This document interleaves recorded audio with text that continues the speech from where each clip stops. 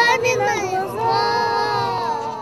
Ветеранов Великой Отечественной войны в Кузнецке остается все меньше. По официальным данным, сейчас в городе живых свидетелей войны чуть более 100 человек. Далеко не все они смогли прийти на холм воинской славы в День Победы. Но те, кто сделал это, держались бодро и уверенно, как и подобает победителям.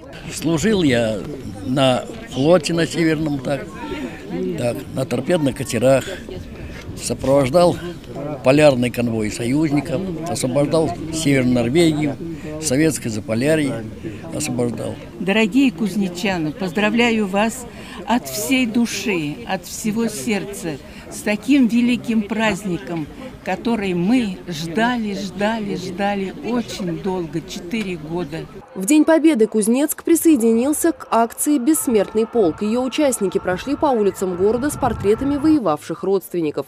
Каждый был готов рассказать о боевых заслугах предков. Первый белорусский фронт до Берлина. Финская, отечественная и японская. Кавалеристом был. В Манчжурии, Чите лежал в госпитале. Это личная память, это история.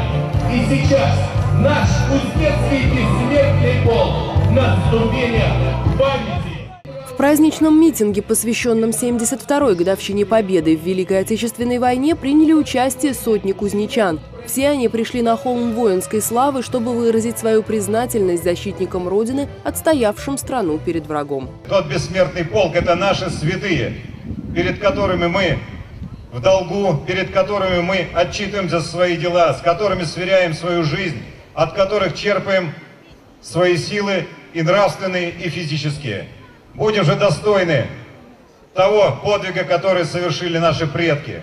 Участники митинга почтили память погибших в Великой Отечественной войне минутой молчания и возложили цветы к вечному огню. Завершился митинг театрализованным представлением, которое подготовили творческие коллективы Кузнецка. Анна Сазонова, Юрий Шипунов, телеканал «Экспресс».